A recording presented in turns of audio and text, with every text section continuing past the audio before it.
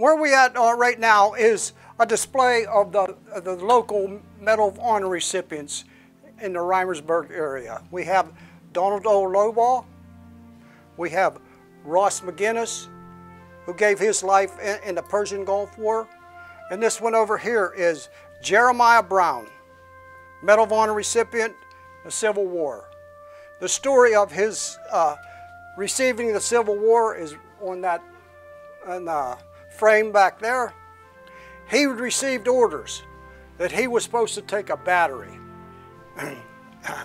he and a hundred other men. Well, they took the battery and they were told, if you take the battery, we'll send you reinforcements. Well, they took the battery and the reinforcements never came. The next day, Jeremiah Brown asked the question, how come we didn't get our reinforcements? And he was told, we didn't think you'd be capable of taking that battery. Can you get a close-up of that? I get that here later. Okay. okay. An interesting story on this. This is the American bald eagle setting on the family plot of the Brown family. There was a man driving by the cemetery one day. He saw the eagle setting on, on the family plot, stone. And he had a he had a phone, but it was one of the very few, or one of the very first, that didn't have camera.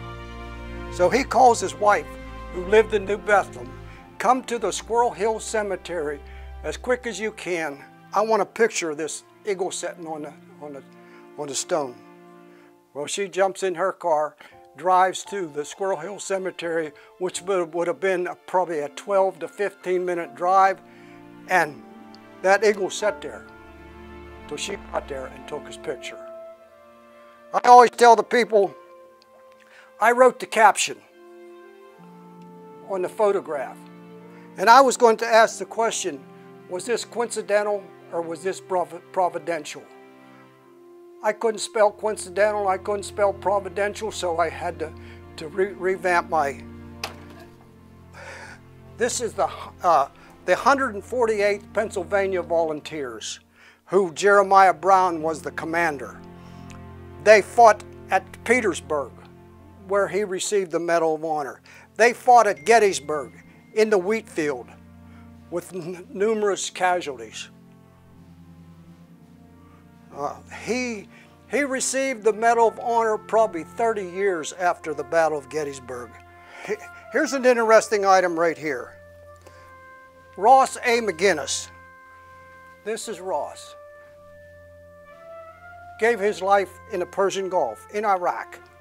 And his mother put together for us a history, the life story of Ross McGinnis. Medal of Honor winner, Silver Star recipient, Purple Hearts recipient. This book is on loan. All his entire life, Ross McGinnis wanted to be a soldier. He, in the first grade, his teacher asked him, tell me what you want to do whenever you grow up. And Ross drew a picture of a soldier, and it reads, when I grow up, the job I want to do is an army man. Ross got his wish. He became an army man